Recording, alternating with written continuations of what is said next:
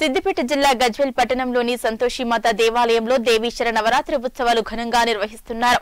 దేశపతి రాజశేఖర్ శర్మ ఆధ్వర్యంలో ప్రతినిత్యం దేవాలయంలో కుంకుమార్చన పుష్పార్చన వేద మంత్రాలతో ఉదయం నుంచి సాయంత్రం వరకు ప్రత్యేక పూజా కార్యక్రమాలు నిర్వహిస్తున్నారు.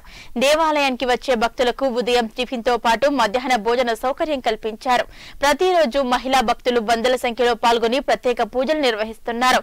శుక్రవారం సాయంత్రం రాంపురం పీఠాధిపతి మాధవానంద సరస్వతి దేవాలయానికి వచ్చి పలు సాంస్కృతిక కార్యక్రమాలను తిలకించారు. అలాగే ఆధ్యాత్మిక బోధనలు చేశారు. ఈ కార్యక్రమంలో గజ్వెల్ పట్టణంలోని మహిళలు వేద బ్రాహ్మణులు అధిక సంఖ్యలో పాల్గొన్నారు. నిరంతరము నాదము సారము చేస్తూ చక్కగా ఉదయకాలంలో ప్రదోషకాలంలో చతుషష్ఠి ఉపచార పూజ లలిత ఖడ్గమాల నామాలతో అర్చన చేస్తూ అమ్మవారికి మహానివేదన వచ్చినటువంటి భక్తులందరికీ కూడా అన్నప్రసాదం ఇస్తున్నాం. ఈ అన్నప్రసాదానికి పిరికెడి బియ్యము ఒక్క రూపాయి అనే పథకం ద్వారా చాలా మంది భక్తులు సహకారం అందిస్తున్నారు. అలా సత్యనారాయణ గారు విజయలక్ష్మి గారు ఇవాళ మాకు ఈ ప్రసాదాన్ని అన్న ప్రసాదాన్ని అందించడానికి సహకారం అందిస్తున్నారు.